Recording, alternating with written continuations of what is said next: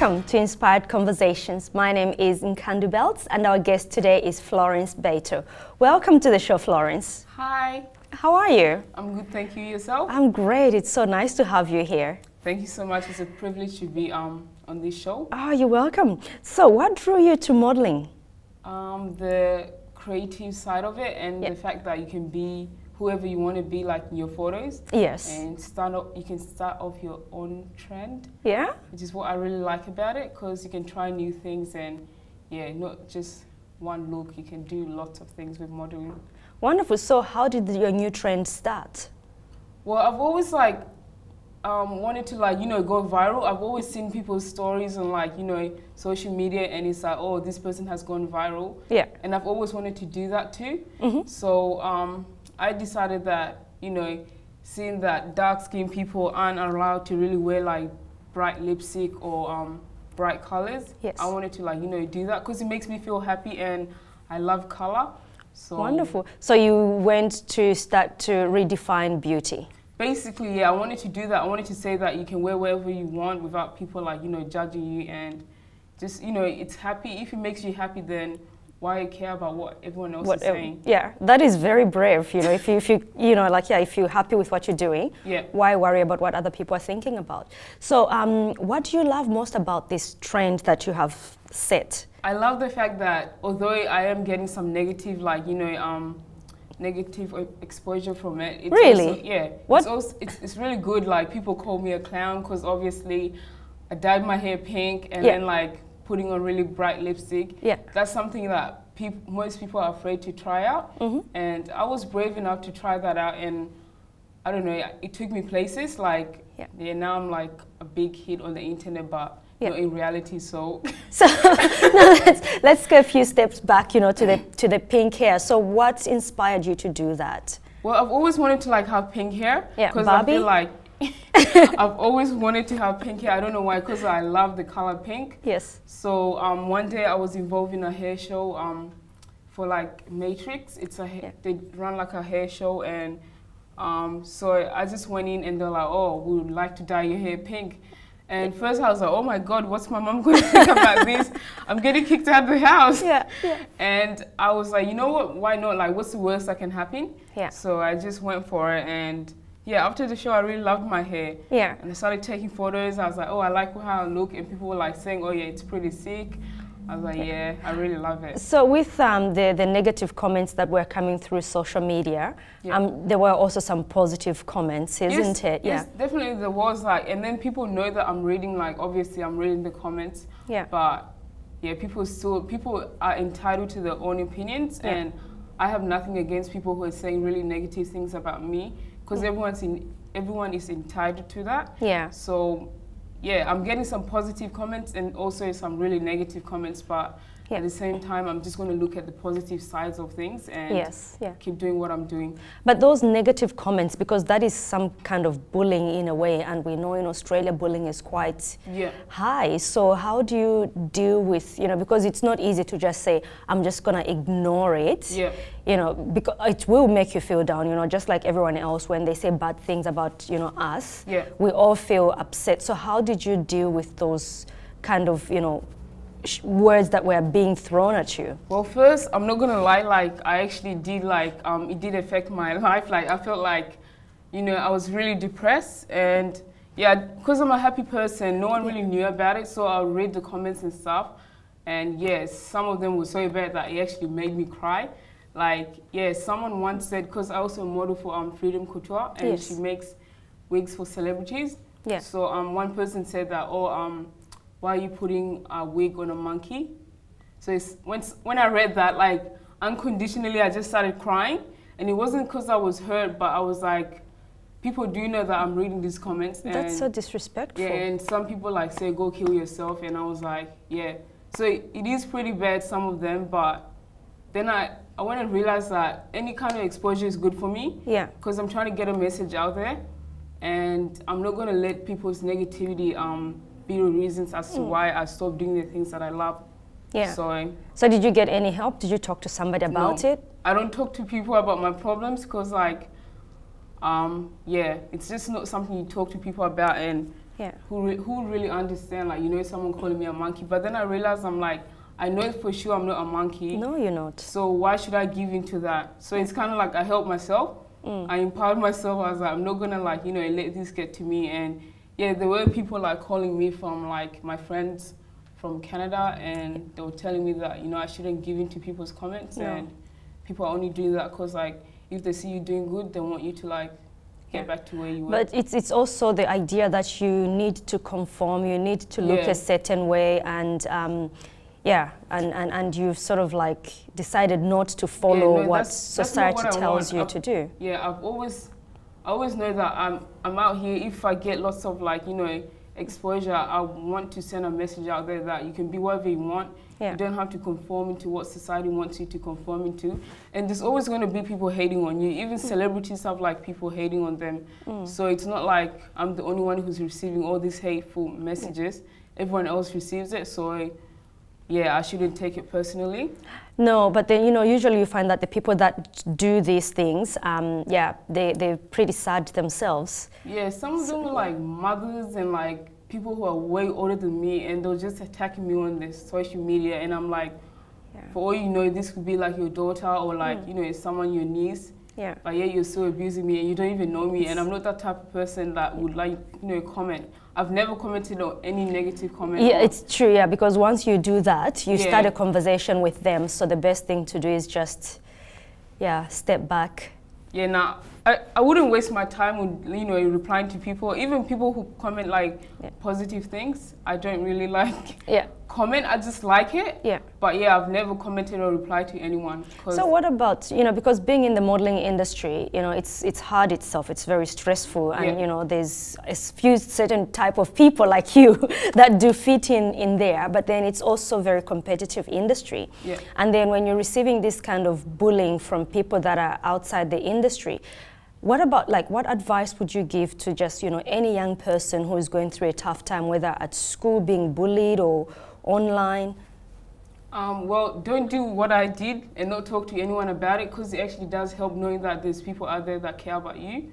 So um, try and talk to someone that you care about, like, you know, someone that you trust.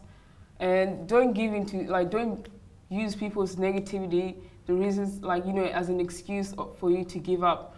Because we're always, as human beings, we're always looking for excuses to, you know, give up. And it's so easy for us to give up. So when you do give up, you're giving, like, people the, um, they win over like you know something that you could be doing potentially good. Like we don't know where our path is going. Like we don't know what destiny has in plan for us. So if we just turn away from um, one barrier then you're just like you're closing so much pathways for yourself.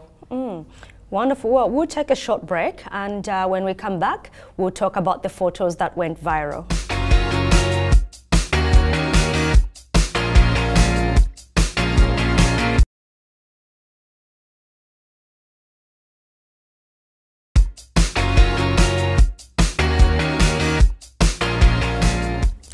Welcome back. So, Florence, just before the break, um, you talked about your message, but before we can cover that, um, let's go back to talk a little bit about your childhood. So, a lot of articles say you were born in Australia, and um, of course, you grew up here all your life. Yeah. Can you tell us a bit about your growing up? Um, so I would just like to get this out there. I was not born in Perth. I was born in Uganda, and we moved here in 2005 when I was like seven years old. So yeah, me too. Myself, I'm shocked reading them articles saying that I was born in Perth. I wish, but yeah, the reality is I was born in Uganda, Yeah. and yeah. So basically, I started schooling here in year three.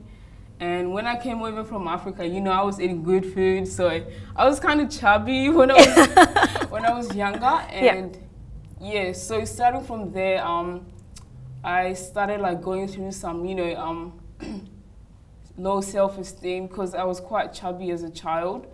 Mm. So all my friends were like, you know, size 8 and I was a size 14, which was not in the social norm, you know. Everyone has to be skinny. That's all I saw on TV. That's Yeah. all I was seeing around me. The people around me were all skinny and yeah. So, you tried to conform to look like everyone else. Yeah, so that's what I did. It's not that I wanted to like do it. Like Yeah. I know I loved myself, but then at the end of the day, like everyone else was receiving the attention and there was just me in the shadow. So I wanted to feel like special. So I started like, you know, starving myself and not eating right so I can be a certain size. So you were losing weight on purpose. Basically, that's what I was doing. It's not um, funny. I'm smiling about no, it. I, I know it's um, it's it's a very big issue because you know Yeah. there's a lot of um, it, um, I don't know if I'd be qualified to say eating disorders. Yeah, I think that's Yes. Yeah. Yeah, so that's what it is. Like I didn't realize at the time, Yeah. but yeah, so basically that's what it was. Like not eating right and yeah, just to lose weight. Yeah. And did anyone in the family pick it up? Yeah, um, not just family, everyone like around me, my school, like Yeah. people that never used to talk to me started talking to me, and they were like, "Oh, we were just worried about you." Yeah. And I felt like, what? Why do you care about me now? Like, you know, before when I was chubby, no one was talking to me, no one was asking how I was doing. So in a way, like I had to go through like you know the um, a dark side until people started realizing, oh yeah, there's something wrong with her. Yeah. So yeah, people in my family did notice, but I never really, you know, talked to them about it because obviously in the African community, having mental health Yeah. is something that It's something that uh, it's not very much talked about because you know mental health is just you know we, we need to talk about it and we need to be open about yeah. it. So as a Yeah. child, like you know, in Africa, like there was none of that, and when Yeah. I came here, like there was none of that. So I didn't see lots of African people having um supporting or like talking about mental health and all these things. So Yeah. Is it because of the stigma that's attached to mental Um, health? yeah, I think that's what it is because it's considered that you're going crazy, but sometimes you're not. No, it's it's a, a lot of people go through mental health issues, and if we don't um, reach out and talk to people, Yeah. you know, we suffer alone, and it can be a very dark place. So, did you reach out to anyone to talk about what you were feeling? Um, no, I didn't. But I felt like I should because like some days were so hard. Like I really did struggle.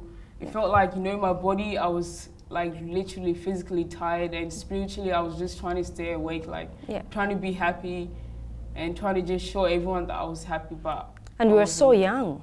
yeah, I was young. And what about your friends? Yeah, I think they noticed, but no one really cared. But yeah, at the same time, it was kind of like me acting that was fine. So I'll go to school and I'm all happy. Yeah. So do you think that you know these pressures to the pressure to look a certain way is so much on the girls compared to boys, or Um, I think guys face it too, but with girls, it's like it's it's more like it's got more pressure on girls yeah, because you have to look a certain way. Oh, we're going to a party. Everyone goes shopping. Everyone's wearing a size six, and there's you wearing a size ten. Doesn't doesn't look good, So does that- it? yeah? No, it's um the, the thing is we should be happy in our own skin, but at that say at that age, Yeah, it's I was- very I was not thinking about that, but now I feel like um, everyone's beautiful. Like you don't have to look a certain way, yeah and if you're made like curvy, just appreciate that because there's another skinny girl out there that wants to be like you know curvy. mm, So it's like sometimes we don't have things, but we want it. yeah. So I think that everyone should just appreciate what they have. It's true, yeah, because I'm like, uh, who said you said if you're size six, be happy. If you're size 16, be happy. Be be happy because that's how that's who you are. That's what defines you, and you shouldn't have to change because it's only one of you. Like there's seven billion people in this world, and Yeah. there's only one of you. So why try and look like someone else when no one else is gonna like you know look like you? It's very true. And then for like, for example, you know, with um, mental health issues, you know, like depression and things like that, there's quite a lot of services in Australia. Yeah, there is. Yeah. There's a lot, but I feel like in the African community there isn't enough. You know, there isn't enough knowledge around it for Yeah. people to like. I can't access it because I didn't know about like what's depression. Yeah, And yeah, who do you talk to about it first? Obviously, you can't just Mm. go into a clinic without talking to anyone about it, especially Yeah. if you're so young. yeah. So what do you think are some of the things that we can do, you know, especially in the African community or in multicultural communities, Yeah. you know, where um, how we can disseminate this information so that you know, if there's a seven-year-old or there's you know a 14-year-old going through, um, you know, depression, they can sort of like reach out. So there's all these numbers to call, or there's these people at school that I can talk to. Yeah, I think just basically spreading the knowledge and like teaching people. Like I know some, the older generation, some of them may not like you know be willing to um, learn about it, but for us younger generations, it's good for us to know about it and try and like you know spread the word out, to those who are younger than us. Yes. And also just, you know, creating little groups or like getting in touch with um, other organizations out there to create our own little African or Yeah. just not for Africans, but, you know, for people from cold background. Exactly. Yes. You know, I think it's um, it's a very important issue, and it needs to be addressed. Yeah, definitely should be Yeah. because there's lots of people suffering in silence and they Mm. feel like they can't talk to anyone, but there is someone that's willing to listen to you out there. You just have to try and reach out to them. It's very true. So um, you say that you wanted to send a message to the world when you started your modeling career. You know, with your iPad taking photos.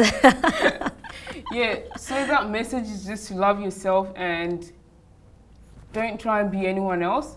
Be Yeah. you, because we only get to live once. yes. So if you're gonna live once, live you. Don't try and leave other people. Yeah. That's the only message. Is like be yourself. Mm, it's very, I totally agree with you on that one, you know, 100%. So, um, with uh, the photos, when you started taking the photos, you know, bright lipstick, bright Yeah. colors, how did the photos go viral? How did that happen? To be honest, I used to only have like 200 and something followers on Instagram. Yes. And one day I was like, oh, pink hair, you know, pink lipstick. I was like, oh yeah, let me just post this up. So Yeah. I posted it up. I went to work.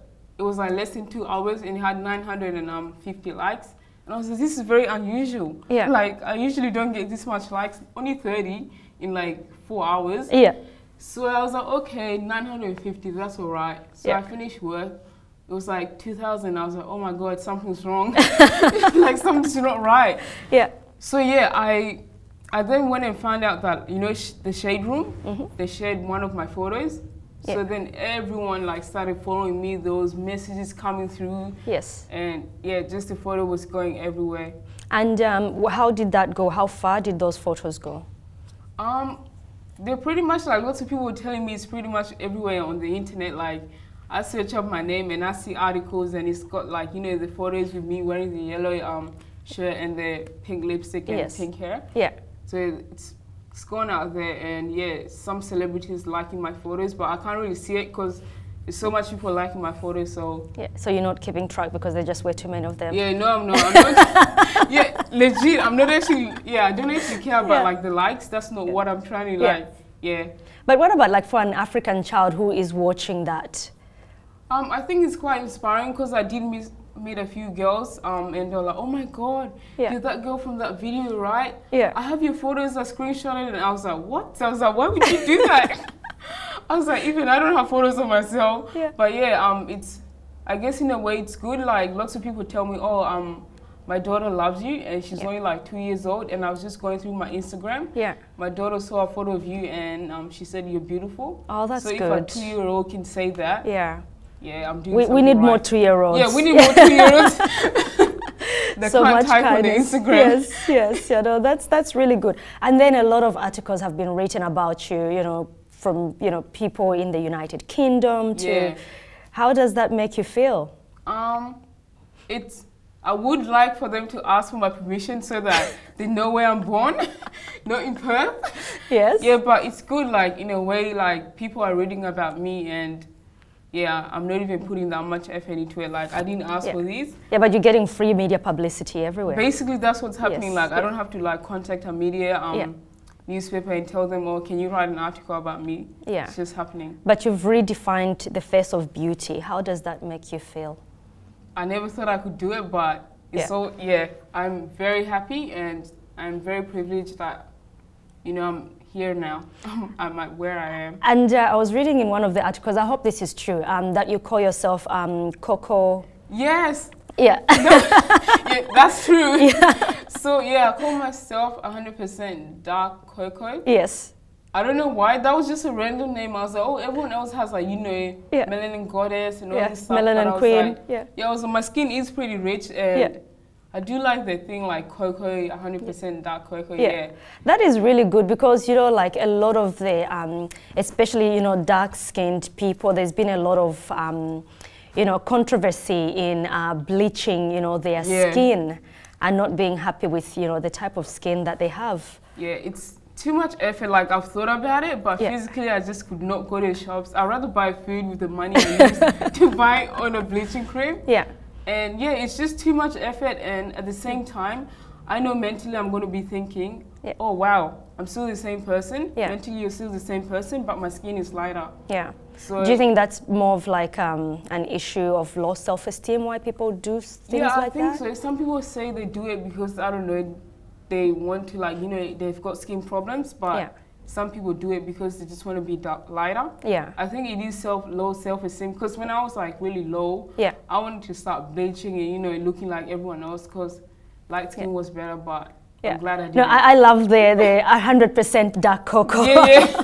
I'm glad I stayed true to myself because yes. you just live life more happy. Like I feel like I'm not lying to myself, and yeah, I don't have to try and like always cover up. Yeah. I can just be honest and say, you know what, this is all you have. Yeah. This is who I am. Yeah. So take me or Yeah, take me or leave me. I, I don't care.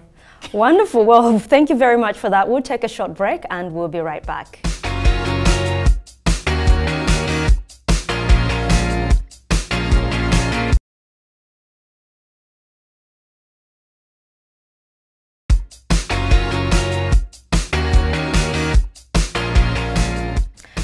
Florence, you've been calling yourself 100% dark cocoa. You know, like that is a term that I love so much. And you're inspiring so many young people around the world. And the message that you're sending to these young people, it's fantastic. Are you affiliated with any modeling agency at the moment? Um, at the moment, I'm only modeling for um, Freedom Couture. Um, she makes wigs for um, celebrities and pretty much everyone out there. So that's the only person I'm modeling for in Perth. And yeah, hopefully I can go to America soon and get my career started. That is wonderful. We're wishing you all the success. Thank you. Well, thank you so much for being here. Thank you so much for having me. You're welcome. Well, ladies and gentlemen, that was Florence Baitio, and uh, she is a model. You can also look her up on Instagram. She has so many inspiring photos there. And uh, my name is Nkandu Beltz. Thank you very much, and see you soon.